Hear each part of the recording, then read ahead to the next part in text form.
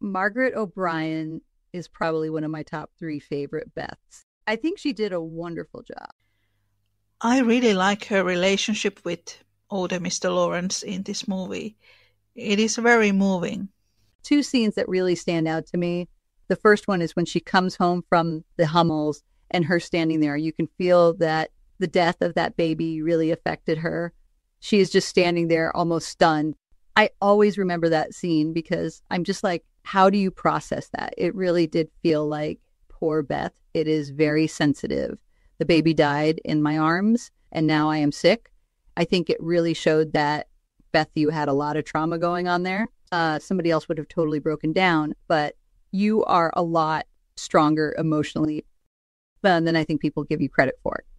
Physically, obviously, we know she is very weak, but emotionally, spiritually, she was definitely very strong. And then the other moment is her scene with Jo saying, I know I am dying, but I can accept that. I need I need you to accept it too. I always get teary eyed when I watch it because it is so emotional. Because when I look at them, it's like, look at this little girl comforting her older sister. It is okay, Jo. I am going to die, but you have so much life to live. I think a lot of the modern feminist narrative about Beth is one sided and very offensive to her character. If you are 15 and you see a child dying literally in your arms, it doesn't matter if it was the 1850s or 2024, that is going to traumatize you a lot. Especially if you have never been in a situation where death has been prominent they were fairly young when Aunt March's husband passed away. I don't think they were that acquainted with the idea of, compared to a few other people. The idea of a baby dying, a life that could have lived for so much more and dying in your arms. At some point in the book, Beth says, I felt the baby grow cold. For some people, that I will never forget that feeling. It is not just like, oh, you were cold because you stayed under weather you were cold because there's no life. That is a lot to process. Later on that day, oh yeah, scarlet fever, I could be dying next, even though she wasn't physically strong. People are like, oh yeah, she is just there to give sympathy to the characters. She has to deal with that all on her own. The second time she realized that she was really sick and going to die. That is a lot, a lot more baggage than I think people want to give her. They're like, no, she is just the martyr sister and she's there to die. No. Absolutely. It always makes me angry when I read stuff like that because then it is like you completely miss the point. Maybe they don't read the book. I think that is the case. Aunt March in this movie is hilarious. She cracks me up. I did like the other Aunt March, but this one really did crack me up because she is a very good grudge old lady but humorous type. Lucile Watson, very demanding presence. I was just thinking of that scene where she comes in to give Marmee the money and you can see Amy just shrinks away. Just her presence is enough for you to feel like, oh no. Then there is the moment when John comes to tell Meg that he is in love with her, but Aunt March settles the question I watched this movie first time maybe five years ago.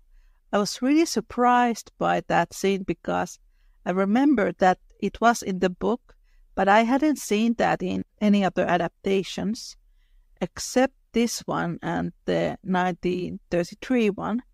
And it was a nice thing to see. John actually forgets his umbrella to the marches, so it is a bit like Friedrich with the umbrella then he comes back for it, and then he hears Meg defending him to Aunt March. It is so cute. I need to mention that in the 33 one, I really like the little scene between them because I think in the 33 one, when John comes, he is like, I came to get my umbrella. I also wanted to see how you are and to talk with your dad. Meg goes, Oh, he is in the rack. I mean, your umbrella is quite well he messes things up because she is is so nervous. That is so cute. Yes, they are really cute. I like to see their own little moments when they are walking together and the conservatory scene. Oh, I am so sorry that you don't have any family to worry about, but we will. And John is like, Would you? And he is looking her to her eyes. There are quite a few moments. There are a lot more moments between John and Meg in those movies than I remembered. That is definitely a plus. Overall, if you had to place the 49 1, where would you put it? And again, we can we can shift movies too if we feel like it. I think it is going to be my third one now. Third one, and you put 33 uh, number two. Yeah.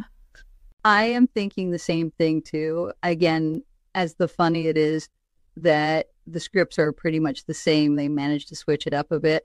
I don't know if you remember this, but in the 1949 film, there's the moment when the maid in New York says, Oh, professor, he's from Germany and he teaches languages, but why do they need to learn languages when they all live right here? Oh, yeah, she wasn't that active. I remember that because as soon as Friedrich came in, she became alive. She is dragging Jo along, and Jo is trying to talk to her, and she is like, aha. And then as soon as Friedrich comes in, she is all chattery. I do remember that. That actress has a great voice. I think it adds to the funniness. Her voice is like a higher pitched New Yorker. It is funny compared to her visual appearance, just being like, a another day, another hour closer to death. that is a good moment. It is also nice in the film when Jo is in New York. You do get this feeling that Friedrich is looking after her. He's taking her to different places.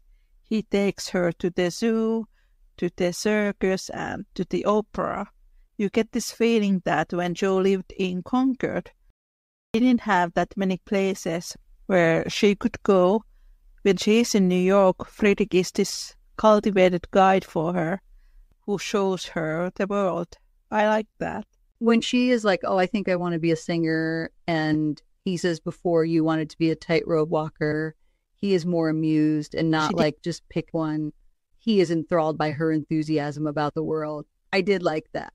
You do get the sense that he's really amazed by her or that he has this deep crush on her. When I was watching these other Rossano Brazzi films, he's very attentive with the female actresses. Maybe it was just the actor's personality, but in this case, it really works because that is how Friedrich is in the book with Jo. It just melts my heart.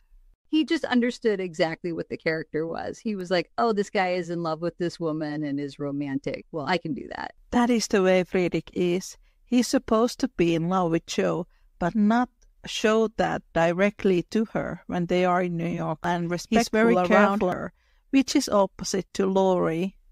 I remember in the 49 one because it switches around the scenes of Jo and Friedrich from the 33 film, where they had the discussion about her writing before they go to the opera, whereas in the 49 one, that discussion happens after.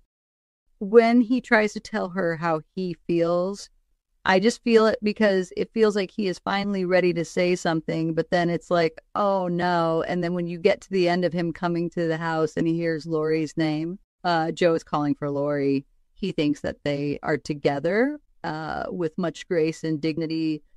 He gives Jo the book and essentially thinks I'm too late.